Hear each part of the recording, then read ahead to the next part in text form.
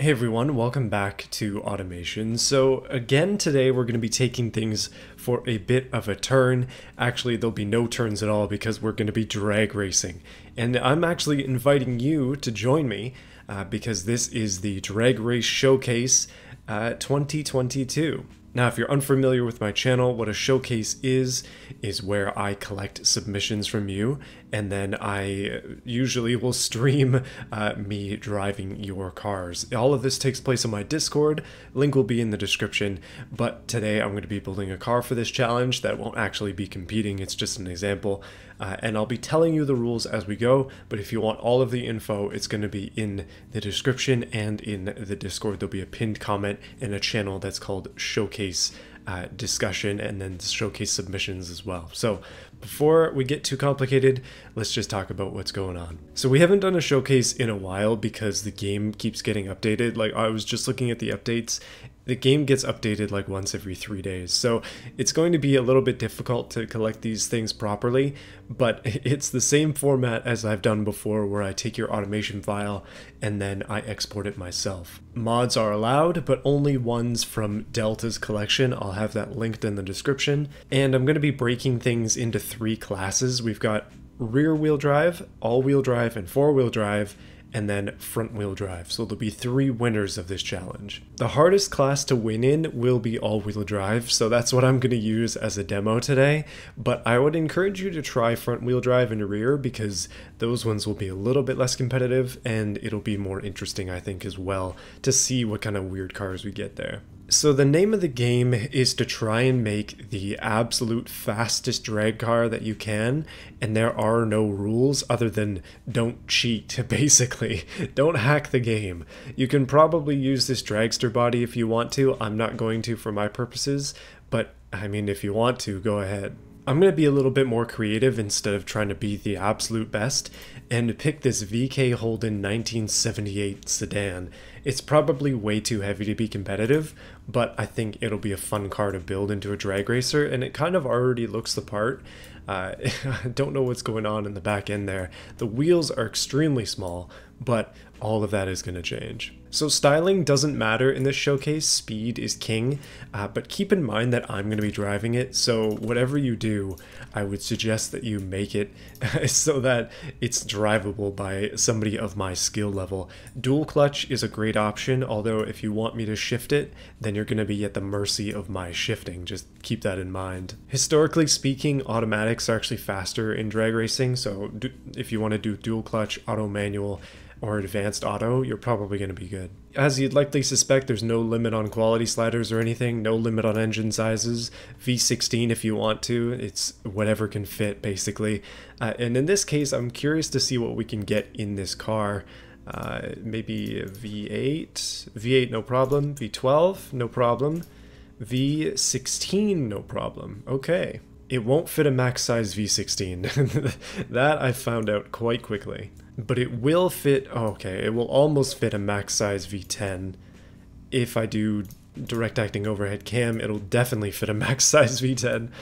You know, this is going to be a bit of a screamer. Okay, I'm going max sized V12, 15 liters. I decided to lop off the extra 4 for the V16. I want to show you that it's possible to make something ridiculous even if you don't have the V16 DLC.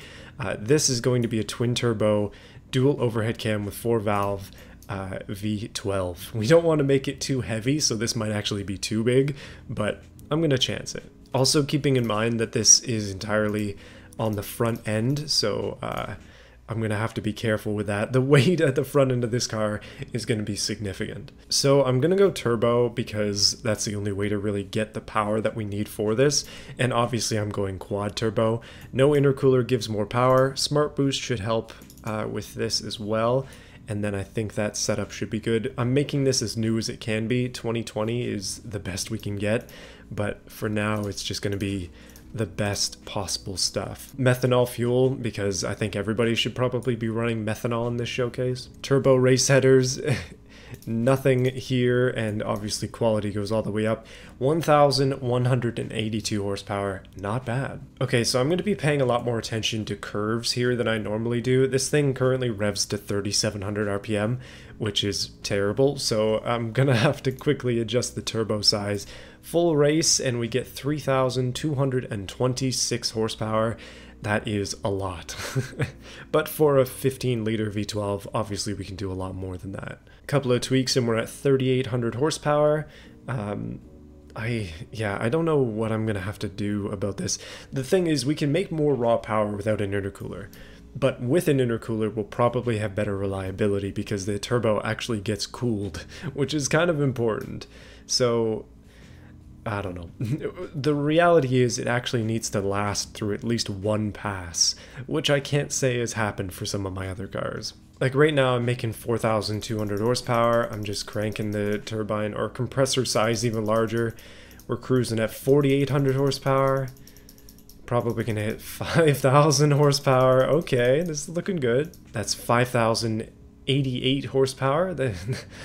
just a, just a touch, you know, just a little bit. These shouldn't be a problem as long as we can get the cooling we need because the engine does only need to do one pass. However, I am a little bit worried. Um, the engine is very, very square, so you never know here. Uh, lightweight? No, lightweight's not going to do it. Yeah, I basically have to stick with the absolute best stuff that I can get. 5,200 horsepower at 8,100 RPM. We do have a really decent torque curve though. It's nice and flat here, so I'm hoping that uh, I can stay above this with my shifts and then always be in the big torque, hopefully. So we can get more power very easily just by making this turbo even larger, or these turbos I should say, because there are four of them and they are massive. Uh, that being said, do we really need 5500 horsepower? Are we actually going to have enough traction to last through 5500 horsepower? Probably not. By the way, you can gain serious extreme power by turning up the boost, but I want that high RPM, so I'm actually going to purposefully limit the boost in order to get higher RPM at 8400 and not have this stuff explode. Yeah, so when it comes to the turbos, stuff like standard geometry does actually affect your curve quite significantly. That's why I'm going variable. And we do have journal bearing, but they're crap, so always ball bearing. Okay, this is going to be one of those engines where we really just have to see how it goes. Uh, I'm trying to get a little bit of power here and there without affecting my RPM, and I mean, so far it's kind of easy to do. it looks like we're going to get to that 6k and beyond without much trouble. 6400 horsepower, that's probably too much. And aesthetically speaking, let's throw some paint on there. I don't know, wrinkle paint, make it a nice blue and then boom, we've got a we've got a decent looking, absolutely ridiculous quad turbo V12. And maybe we can have it say VTEC on there, you know how it is. Okay, the engine itself weighs 500 kilos. That's a bit of a problem, so let's hope that it actually works out. So this is our body of choice. It's not going to be, well actually let me try and move it around a little bit. If we can get a bit more width out of it, that would be good but it doesn't look like we can. Unfortunate, but it's not the end of the world. Yeah, there, there's no morphing on this body, which kind of makes it a bad choice for this, but don't worry about it. First thing we're going to do, we're going to skip fixtures and stuff because ultimately it doesn't matter. I will put some on just for the holy mackerel. The intake sticks right out of the hood. I like what I'm seeing. Oh my goodness, this is a drag car through and through. Look at that turbo. Yeah, we're absolutely going to leave that hanging out the front, by the way. Uh, dual clutch is my choice, seven speeds. The thing is that the gearbox tuning is extremely important, and we're going to have to be very specific with that. Now, the goal of this showcase is to beat the previous showcase's record, which was two years ago, by the way, of 6.5 seconds on the West Coast uh, drag strip. So I'm going to try to do the best that I can do to beat that today, and then I'm hoping that during the actual showcase we can destroy it. Because as you saw, I mean, this thing has over 6,000 horsepower. That was like very difficult back in the day, especially not for this engine. Okay, apparently the car is threatening to do 588 kilometers an hour. That's what I like to see. But again, gearing is super, super important, so we got to be very careful with this. Um, because if we have way too high a top speed, then we're just gonna it be inefficient getting there. We're trying to get to the end of the course, and that's it. Whatever's after, I don't know, doesn't matter. So if this has to be limited in order to get us a better ratio, then so be it. Power distribution is extremely key. I remember I did a bit of an autopsy. It's not a good word for it, but I did a bit of a dissection of the previous car uh, that won the last showcase, and it had a distribution of I think 70 30, something like that. So it was mostly rear and uh, or could have been front actually. I think it might have been further to the front than the back, but its distribution was really funky and it made a big difference in the way that the car worked.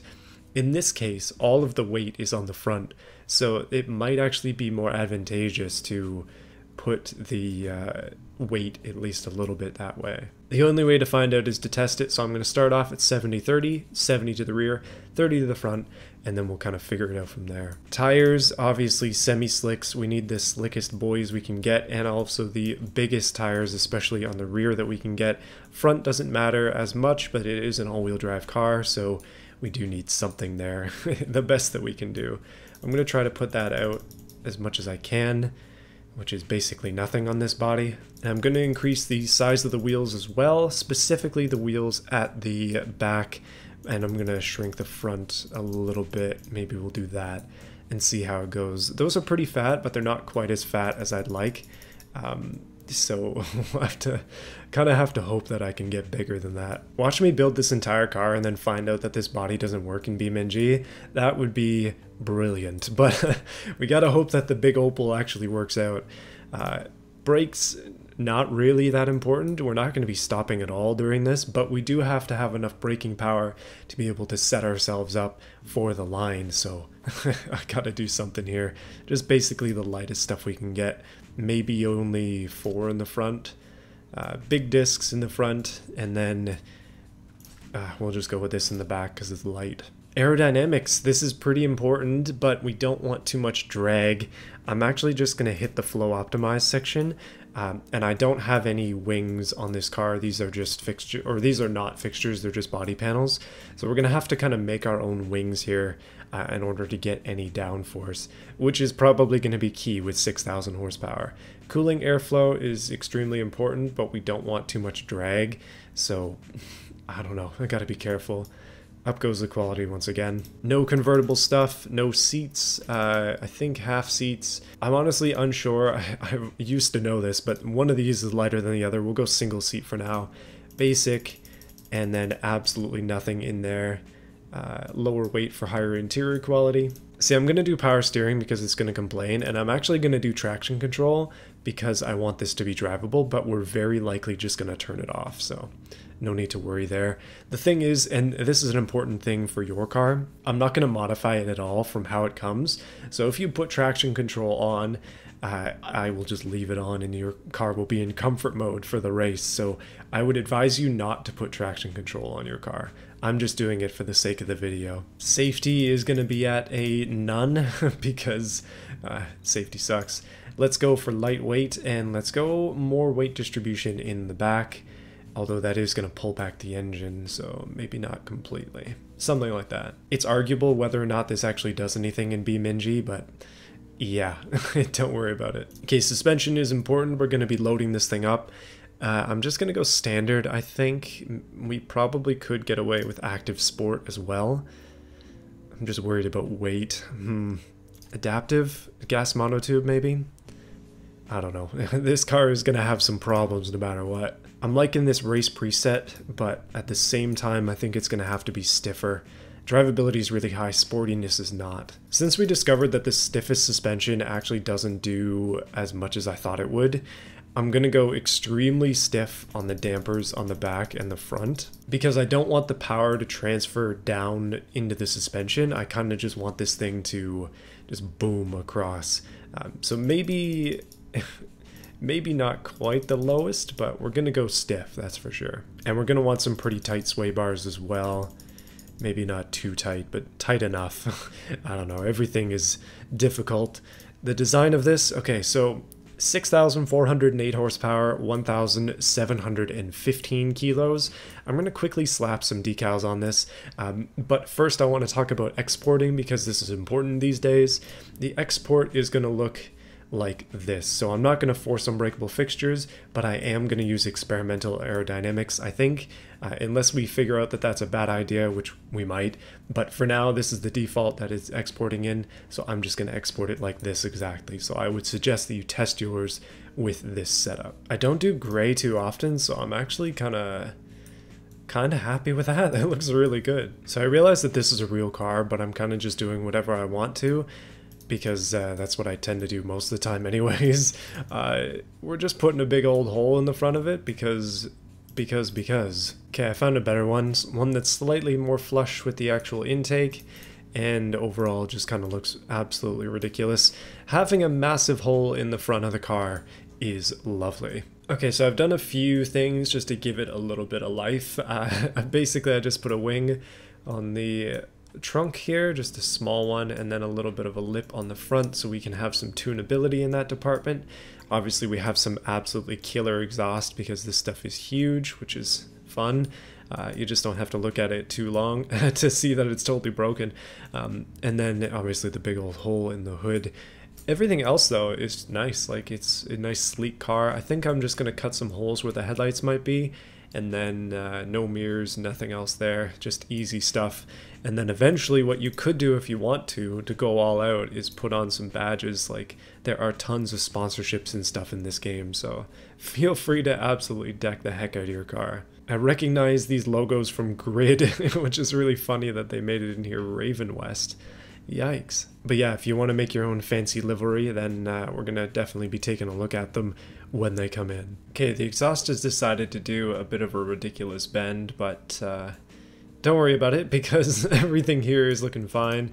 Uh, I just kind of decided to make it a little bit more interesting. I think it's cool but that means that the front end and the entire styling of the car is done. It's time to test it out in BeamNG and see how it reacts on its first few drag attempts uh, and see if we can chase down that 6.5. This thing has an absolutely ridiculous amount of power and I'm really hoping that if nothing else, it actually works. Hold on a minute though, I forgot something in the back. Oh yeah, I kind of forgot to tune the aero and we're still making negative downforce, so uh, maybe turn this up a little bit and see if we can get some positive stuff going. Okay, so I just loaded in the car and it sounds nasty in a good way, like sick nasty, that kind of nasty. There's something wrong with the V12 exhaust system because this is ridiculous. Just listen to this.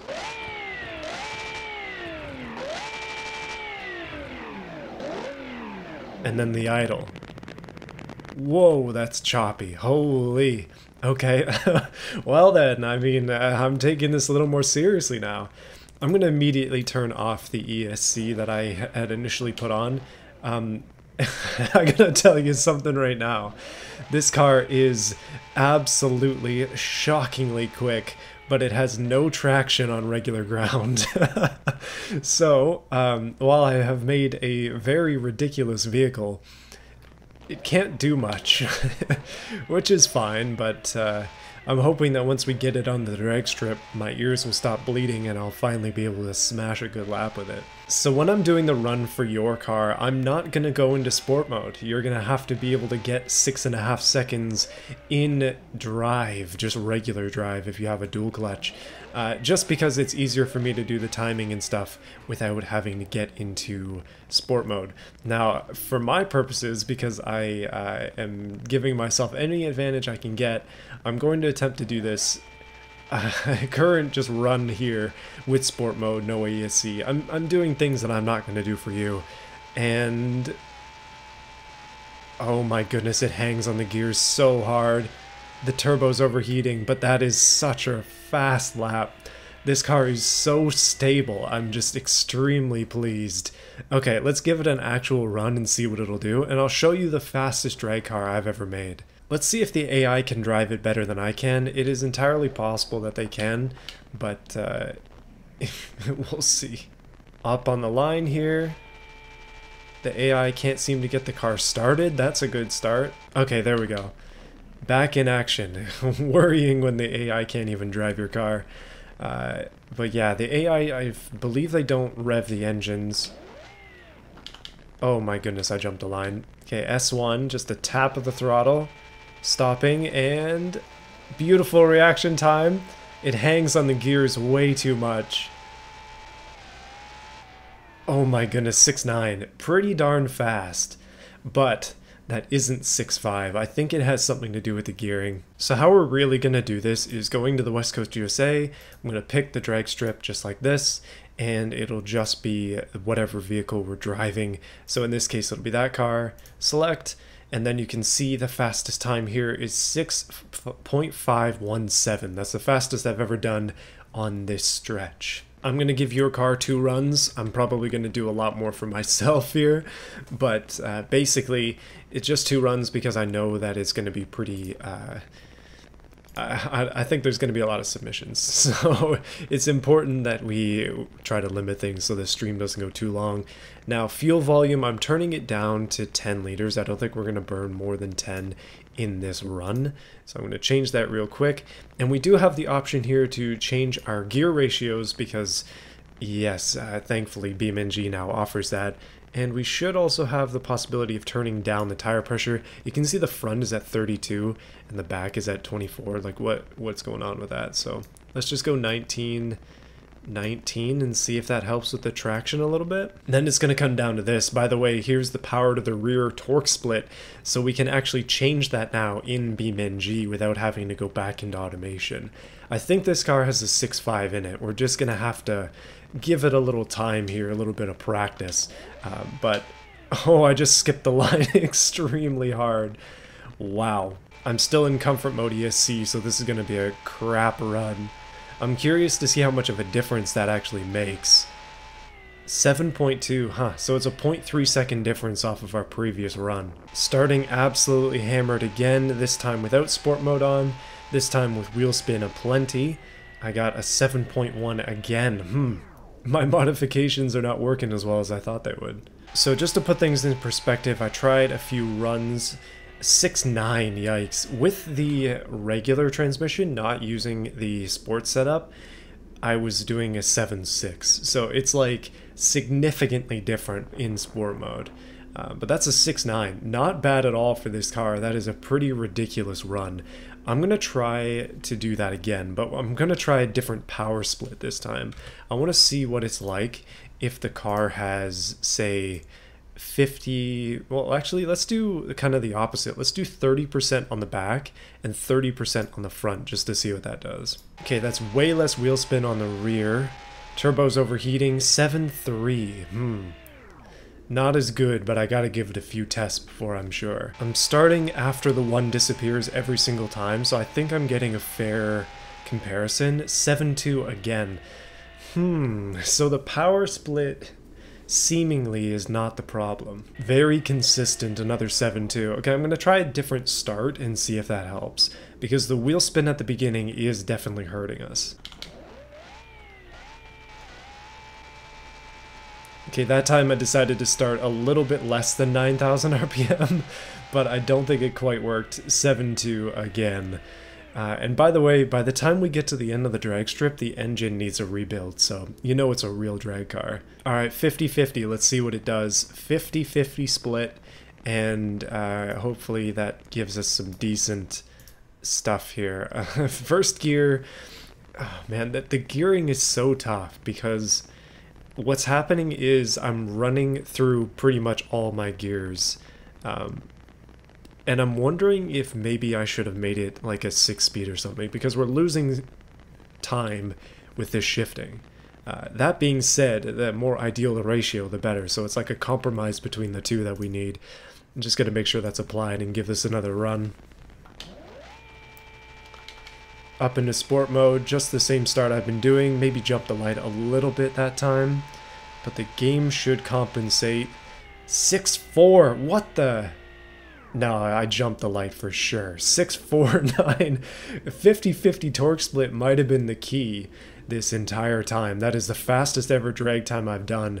But honestly, I can't be sure that it's legit. I gotta try one more time, just to be sure.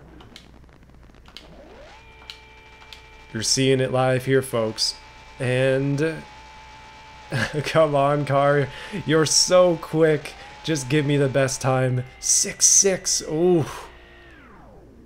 Yeah, that's nuts. Oh man, okay, I gotta chase that 6-4 again. 6-6 again, ooh, so consistent. What did I do that one time? Dang, that is exactly the same time as the previous run and I had a little bit of a different technique on it. Crazy. Oh man. So I beat the record that I wanted to beat, 6.491, although possibly with a little bit of a light jump there. And then 6-6 seems to be my most consistent run yet. Ah, that's crazy. I, I'm gonna call it. Like, I think I don't need any more configuration or reconfiguration, I should say. Can I take out another six liters of fuel and get better better stuff here? Can I put another 10% to the rear and get better stuff here? Like, this is all the kind of testing that you've got to do to make the fastest car you can. But even then, my runs are not as consistent as they should be. Like, it's difficult to nail things perfectly every time. So I'm going to run it with this configuration again and see what happens, and then we'll wrap things up. This has got to be it, though. This has got to be it. All the way up in S1. Oh, that's a ripper right there. Come on. It's got no fuel in the tank. It's just enough to get through this. 6-7. Oh. I'm going the wrong way. Okay, I gave it a massive whiff off the start this time, and I want to see if that makes a difference. Oh, the ESC is on. No wonder I'm having problems. Hold on a minute. Big spender. Let's do it. Come on. Out of the wall. Stay out of the wall. 6-7. No. Ah. Oh. Oh man, this car is burning my eyes out. It's difficult to see, but this thing is absolutely ridiculous, and I really like it.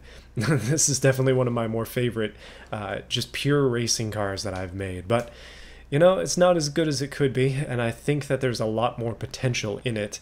Um, so, I mean, hey, if you want to make something as wicked as this, feel free to do so best me in this category, please and thank you. I want to see you smash this all-wheel drive record. I think the best I've seen on the Discord so far is 6.3 something, so if you can't beat that, you're probably not fit for the all-wheel drive category. I would suggest trying the rear wheel if you really want to get into the fun stuff. Same thing with front. I, I better see at least one Nissan Versa, by the way. One Versa in the crowd is what we need. I should probably talk about this now, but uh, due dates for this stuff, submission is going to be in two weeks because I think that that just makes more sense for uh, my time schedule. So you've got two weeks to make a car, which gives you a lot of time to test. Uh, I'm going to be away next week and I'm not going to be on the Discord too much, so I'm not going to be accepting submissions for the first week. so we'll see how that goes in terms of people's builds and if that makes things better or worse. Uh, but you'll have a lot of time to figure it out is basically my point. So I'm excited to see what you guys can do. Feel free to ask me questions in the Discord if you need to, but I think this one's fairly straightforward. And as always, be sure to post a picture of your car when you submit it and tell me what category it's in just beforehand so I can organize it in a folder. It just makes it easier for me when I'm collecting all this stuff. Uh, because yeah, there there probably will be quite a few submissions this time, and I'm really looking forward to it. So send me your best drag car, and I'll see you on the track. By the way, just as a side note for this video as a whole, if you've enjoyed it, be sure to subscribe to this channel. We're getting close to 50k and I want to hit that before the end of the year. And also, all of these showcases are supported by my merch store, which is automotiveflux.com. I haven't had any stickers being sent out for a while now, but I still have quite a few of them, so if you want one, uh, be sure to just let me know by buying one on the website and I'll send one promptly to you. They're $5 with no shipping fees all across the globe. So, yeah. Um, that's it for now. Maybe the Opel re will return once we have some more tips and tricks from the showcase, but it turns out that having a massive engine isn't the only thing you need. 6400 horsepower wasn't enough to beat the record. I'm betting somebody will be able to do it with like 1500. Probably a four cylinder turbo and a Honda Civic. Foreshadowing. okay, see you then. it's time to thank those who have chosen to support this channel, specifically Overlord, QT Bear, Terrio1, J Pope, Davis Heister, The German Dude, Nat64, Sinlab, Goofy Plays, Badger, and Phoenix Shark. Thank you everybody for your support. Channel still has been doing incredible lately. It's very encouraging, guys, and I know that you've been around for a long time and you're seeing the growth, so yeah, thank you. See you again soon.